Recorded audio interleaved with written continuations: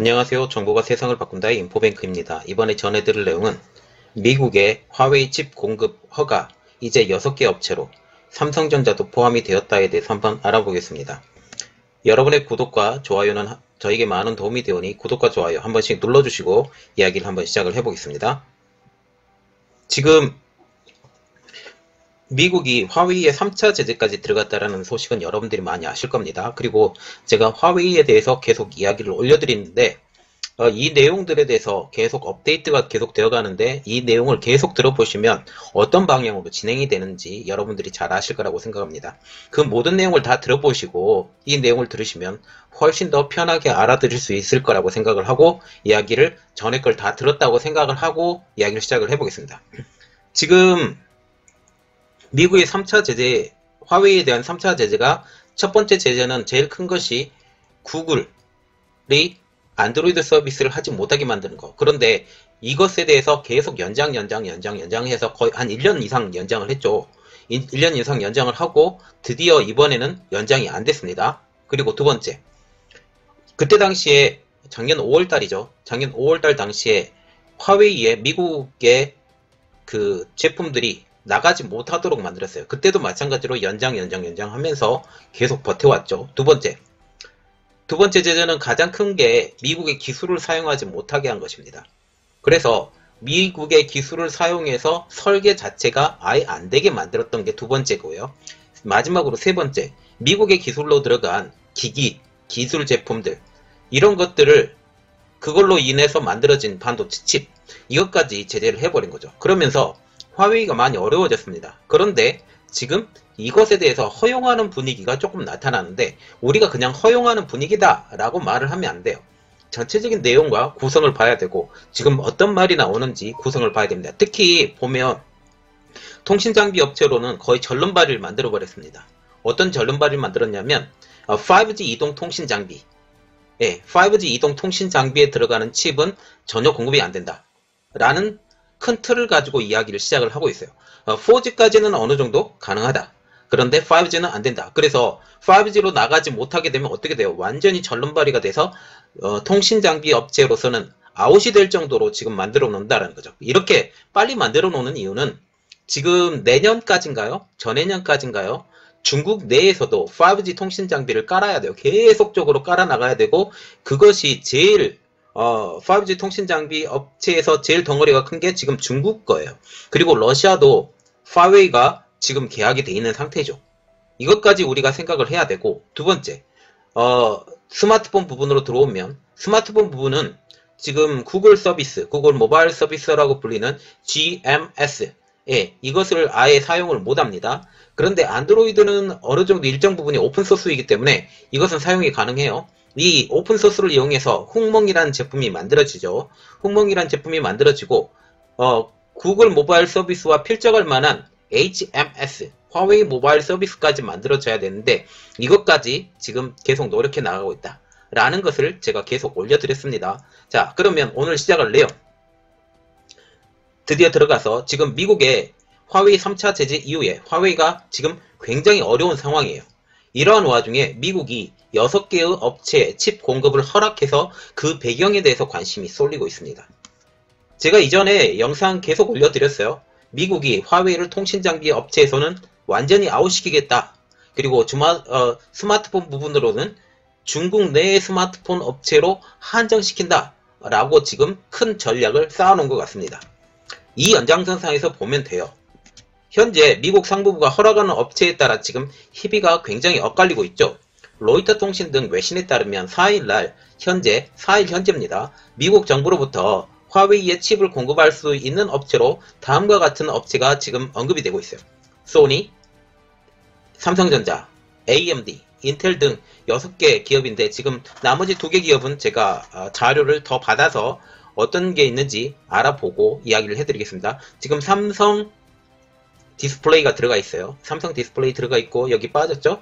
어, 그런 것들, 예, 뭐 LG 디스플레이도 들어갔을 가능성이 조금 있다라고 생각을 하고 그러면 한 6개 기업 정도 되죠. 자 보겠습니다. 그런데 아직 퀄컴, 미디어텍, SK 하이닉스는 승인이 나지 않았다고요. 지금 보시면 삼성전자가 승인이 났다고 그러죠. 승인이 난 것은 제가 보기에는 D램 부분에 모바일 D램 부분만 났을 가능성이 아주 높다고 전 개인적으로 생각을 합니다. 왜냐하면 다른 D램 부분까지 전체적으로 어, 공급이 허락이 된다라고 하면 이게 말이 안 되죠. 그리고 파운드리 업체로서 삼성전자가 허락이 되면 미국의 그 큰 줄기에 따라서 이게 전혀 어 그게 이야기가 맞지도 않아요. 그래서 개인적으로 생각하는 것은 모바일용으로 이게 허락이 됐을 것이다. 라는 것이죠. 지금 화웨이는 미국과 중국과의 무역전쟁의 여파로 대표적으로 지금 주목을 받는 기업입니다. 그래서 미중 무역전쟁의 제일 첫 타겟이 되었던 회사가 화웨이입니다. 그리고 나머지 기업들도 여러 가지가 있지만 한 제가 영상을 전에 올려드린 것도 있지만 한 몇백 개 지금 현재까지만 해도 한 4, 500개 정도 걸려 있는 거지만 지금 가장 중국에서도 그렇고 미국에서도 그렇고 중심이 되는 회사는 화웨이 그리고 두 번째 SMIC 이렇게 되는 거죠. 작년 5월부터 시작해서 3차에 걸치는 봉쇄를 통해서 현재는 스마트폰과 통신장비 업체에서 어려움을 겪고 있어요. 그러나 지금 PC 부분, 노트북 PC나 일반 PC 부분에 대해서는 지금 허용이 됐죠. 왜냐하면 인텔하고 AMD에서 개인용 노트북용 CPU 공급은 가능하도록 만들었습니다. 그런데 어, 기업용 CPU는 허락이 안 됐어요. 이 부분까지 우리가 생각을 해야 됩니다. 왜냐하면 기업용 CPU까지 허락이 되면 어디까지 넘어갈 수 있느냐? 통신장비 업체까지 넘어갈 수 있기 때문에 그렇습니다. 그래서 지금 화웨이는 칩의 수급에 가장 큰 비상이 걸렸죠.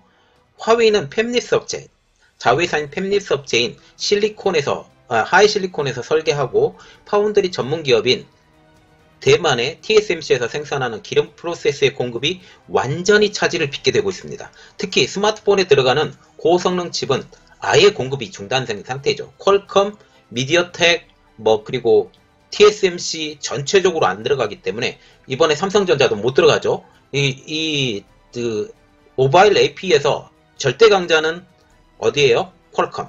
그리고 두 번째는 미디어텍. 세 번째가 어딘가요? 삼성전자, 애플, 뭐, 이런 식으로 나가죠. 하이실리콘도 있고요. 그런데 하이실리콘은 완전히 작살났죠. 그리고 미디어텍 공급 안 됩니다. 그리고 퀄컴도 뭐 공급 안 돼요. 삼성전자도 공급할 생각이 지금은 전혀 없습니다. 이렇게 되면 어, 모바일 AP 부분에 대해서는 완전히 지금 길이 막혔다. 특히 5G용 어, 모바일까지도 어, 지금 제한을 걸 수 있다라는 말까지 지금 나오기 때문에 4G용의 어플리케이션 프로세스까지는 허용할 분위기다라는 이런 분위기가 지금 얘기가 나오고 있습니다. 그런데 지금 이러한 상황에서 TSMC에 대한 제조 승인의 허가가 났다는 소식이 지금 들리고 있어요. 그러나 TSMC가 전체적으로 제조를 하게 하는 허가가 떨어진 것이 아니라 28나노미터 이상 제품에 대한 제조 승인이 떨어진 겁니다. 자, 그러면 우리가 기본적으로 28나노라고 하면 최첨단을 달리는 이런 것이 아니에요. 지금 최첨단은 5나노까지 지금 내려가 있잖아요. 28나노 그리고 14나노 28나노 다음에 보통 14나노 이야기하거든요. 14나노, 10나노, 그리고 8나노, 7나노, 6나노, 5나노, 4나노 이런 식으로 지금 내려가는데 보세요. 28나노 다음에 어디로 뛴다 그랬어요? 14나노로 뛴다 그랬죠. 그래서 28나노는 아주 러프한 칩을 만드는 예, 그래서 그 부분에서만 지금 제조 승인이 떨어졌다라는 것이죠. 그래서 지금 보시면 28나노 제품은 중국의 SMRC도 가능할 만큼 고난도 기술이 아니라는 것입니다. 이러한 이유로 어, 중, 어, 대만의 TSMC는 16나노 이상의 첨단 공정 기술이나 제품은 여전히 여전히 화웨이에 공급될 수 없다.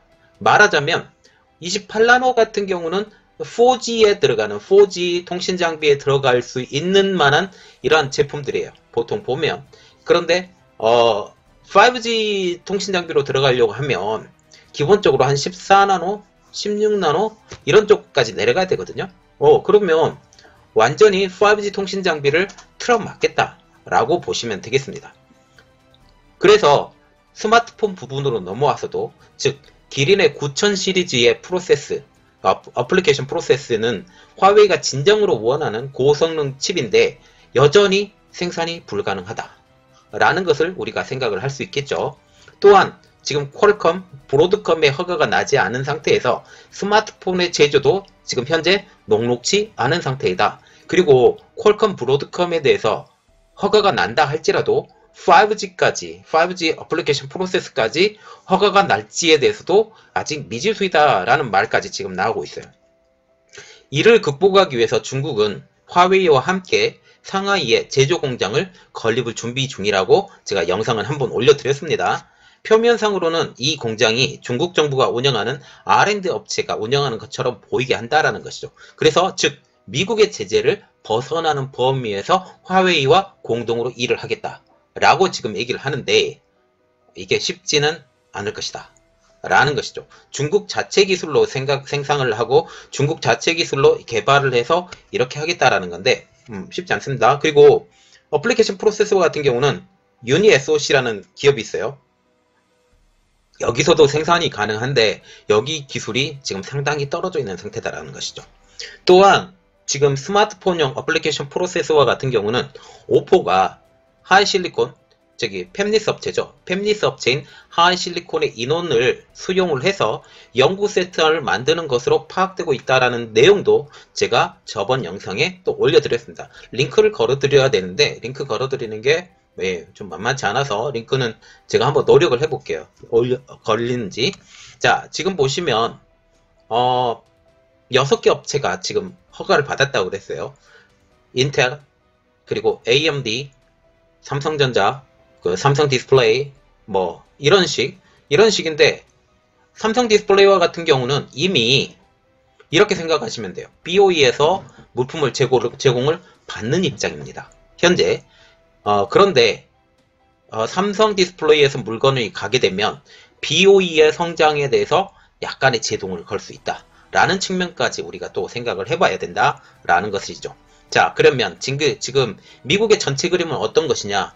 화웨이에 대한 전체 그림은 어떤 것이냐 그리고 중국 정부 어, 중국에 대해서 어, 스마트폰과 통신 장비 업체에 대해서 어떤 방법으로 지금 접근하느냐 라고 생각을 하면 지금 화웨이에 대해서 정확하게 말하면 통신 장비와 스마트폰 업체로서의 위상이 상당히 흔들리고 있다. 그리고 특별히 통신 장비 업체에서로는 지금 5G 통신 장비를 계속 적으로 증기설을 해 나가야 되는 상황이거든요. 계속 만들어 가야 되는 상황인데 이게 재고가 아무리 많아도 1년치밖에 되지 않는다. 그러면 1년 후에는 어떻게 될 것이냐? 이것은 되게 어렵다. 라는 지금 이야기가 나오고 있어요. 그래서 어, 5G 통신 장비 업체로서는 이제는 더 이상 일을 하지 못하도록 전름발이처럼 4G까지만 지금 유지할 수 있는 나라들은 유지를 시켜줘야 되기 때문에 네, 기본적으로 마, 그 4G를 하고 있는 업체들도 많이 있잖아요. 예. 뭐 유럽에서 공급을 계속 받아야 되고 스탠드 언론 방식이 아닌 넌 스탠드 언론 방식을 쓰는 어, 4G이기 때문에 예, 이것에 대해서 인정을 하고 나가야 되는데 이런 부분에 대해서 어떻게 할 것이냐 라고 생각을 하죠. 또한 스마트폰 업체로서는 완전히 전론발을 만들었습니다. 구글 모바일 서비스가 아예 들어가질 않아요. 물론 중국 내에서는 구글 모바일 서비스가 필요 없습니다. 안드로이드를 이용해서 거기에 다른 앱스토어를 만들어서 이것을 이용을 하기 때문에 화웨이의 뭐 기술을 가지고 뭘 한다라는 생각은 못 갔죠. 그러나 화웨이를 5G 칩을 아예 공급을 받지 못하게 한다면 어떻게 되겠어요? TSMC에서도 만들어주지 않고 그렇게 되면 화웨이의 5G 모바일 제품은 얼마나 나올까? 한 6개월? 한, 아니면 하나, 하면 한 1년? 이렇게나 나올까요? 그 다음에는 5G 어, 스마트폰이 아예 자취를 감추지 않을까? 라는 생각을 갖죠. 그래서 지금 화웨이가 지금 생각을 하고 있는 게 그 sub brand, 예, 중소, 어, 중저가용 sub brand인 아너 시리즈를 다른 업체에 판매를 한다라고 지금 얘기가 나왔습니다. 그것도 영상에 올려드렸는데 이것이 정말 눈 가리고 아웅하는 식으로 다른 업체에 판매를 하는가? 라는 것도 다시 한번 생각을 해봐야 돼요. 그런데 이게 만약 샤오미 같은 아니 오포 같은 이런 회사로 넘기게 된다면 그 진정성은 조금 더 느낄 수 있겠죠. 그러나 그와 같이 일했던 동업했던 회사에 넘기게 된다면 이게 음, 주식을 교환하는 방식으로 해서 어쩌면 자회사 비슷하게 운영할 수 있다 라는 그런 측면까지 우리가 더 생각을 해봐야 될 것 같습니다. 그러면 이것에 대해서 더 자세한 내용이 나오게 되면 어떤 내용이 되는지 그리고 퀄컴도 허용이 될 건지 아니면 브로, 어, 다른 AP 업체들도 허용이 될렀는지 TSMC는 어느 정도까지 더 허용이 될렀는지 그것을 한번 더 분석해서 여러분들에게 새로운 뉴스가 나오면 알려드리도록 하겠습니다. 이번 내용은 여기까지였고요. 저희 내용이 여러분들에게 도움이 되셨다라고 생각을 하시면 구독과 좋아요 그리고 알림 설정까지 좀 부탁드리겠습니다. 감사합니다.